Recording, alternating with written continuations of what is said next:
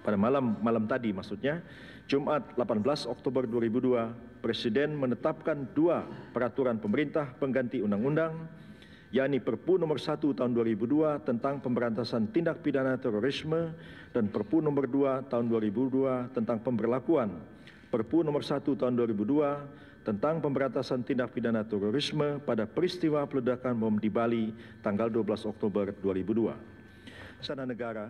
yang dihadiri oleh Presiden dan Wakil Presiden, maka pemerintah Republik Indonesia sebagai pihak yang bertanggung jawab atas keselamatan bangsa dan negara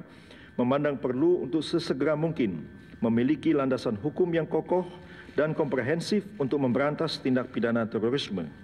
Adalah kewenangan Presiden Republik Indonesia namun pemerintah memandang perlu untuk government respect the uh, religion of Islam as the majority uh, population in uh, Indonesia so uh, we are not uh, we don't have uh, any uh, idea to uh, to make this law for this uh, kafir, especially for the Muslims leaders. And we guarantee,